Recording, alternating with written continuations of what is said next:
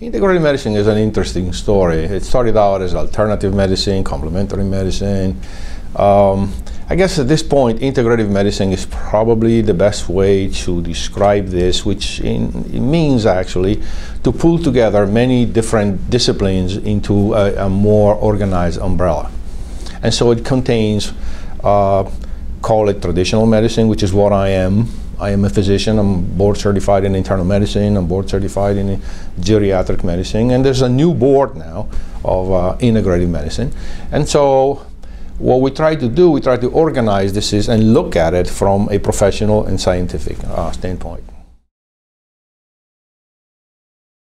If you, for instance, look at our center, we have an Oriental medicine division, and so that will show you the acupuncture. It'll show you how things are done, maybe in China or in India, Ayurvedic medicine, and that. Then we have a nutritional um, department in which we basically see and look how food, diets, supplements uh, interact with the health of the patient.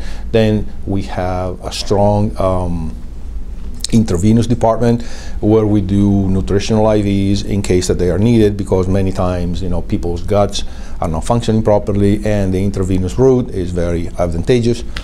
Um, then we have a um, so if you call it hormonal health program in which we help people go through these very complicated hormonal issues uh, and there's a lot of controversy and um, we help people uh, do uh, the, the, best combination between um, what we know about science and the best clinical decision making at the time. Uh, then we have a psychology slash brain health uh, connection where we tie in the, the software with the hardware, I call it.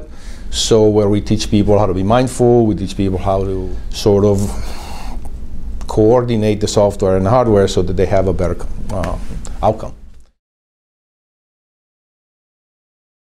In certain occasions, like in our center, I think the time has passed.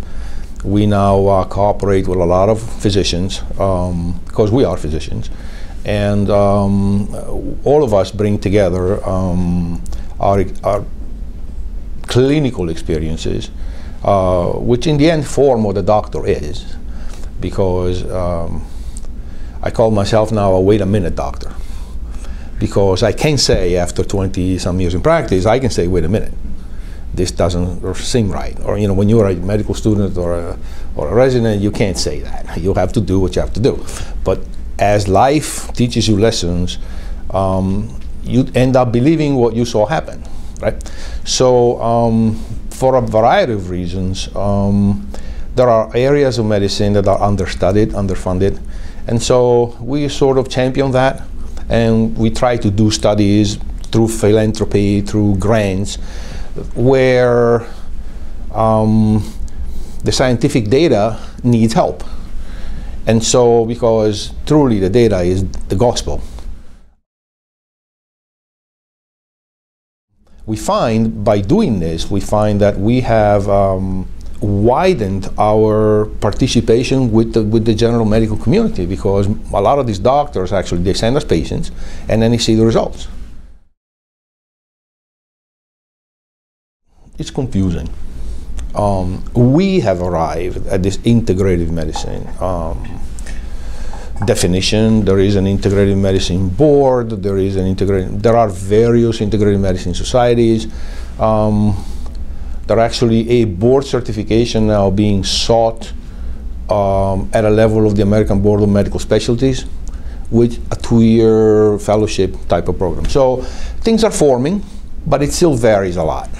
Center to center, you know, most of the time you'll see uh, nutritional components like we, we have. You'll see oriental medicine type of things with acupuncture. Then you'll see physical modalities like it could be massage and you know and things like that. And so I guess if somebody is interested, they have to look at what what any particular site will, will offer.